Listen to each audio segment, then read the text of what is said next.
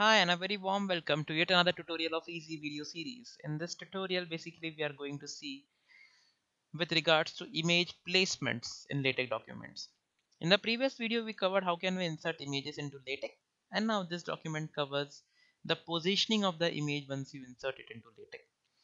So we begin with our standard example document class article begin document and end document everything between this gets compiled in LaTeX and since we are dealing with images you need to include the package graphicx. Remember that's x in the end and not s. Okay? So I have written some sample text here and then I insert an image yellow.png okay? And then I have some text here. So had it been word this text would have appeared the image would have appeared and the following text would have appeared. Just see what is the output under LaTeX I just compile it. I am using TeXstudio and would recommend you to use the same. So if you see the text comes here. The image is placed automatically at the top. And the text below here is following the above line.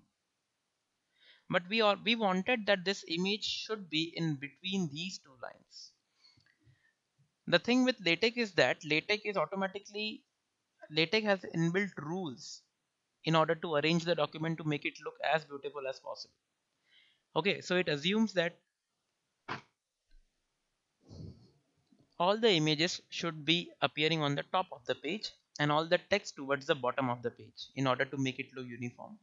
But there may be circumstances in which you want that your image should specifically appear at a particular position and not elsewhere so I will just show you what are the options in LaTeX. It is called HTB options.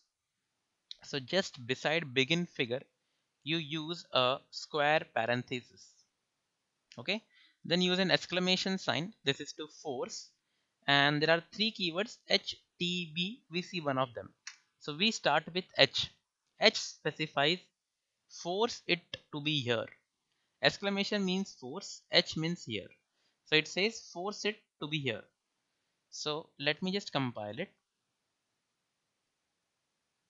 Okay, so this was our previous output. I hope you can see it.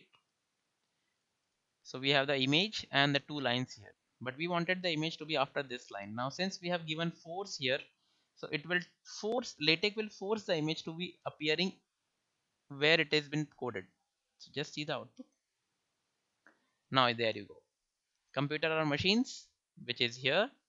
Then since you have used h here so it places the image here. And the following text this is the following text. So in this way if you want the image to be at a particular position then you, you have to use the exclamation h. Remember in latex all that you place in square bracket is optional. Okay it is optional. Even if you don't place that the command will work perfectly now latex goes by the name convention. If i keep it t t specifies top. So even the code is written here and i'm telling it to place it at top. Let us just compile. See the image now comes on the top. Okay. Similarly we have a b. B is bottom. Just compile. You see the image is now completely at the bottom of the page so HTB actually helps you to place your latex figures and its positions very easily. That's it in this video. Thank you for watching. Have a good day. Please do subscribe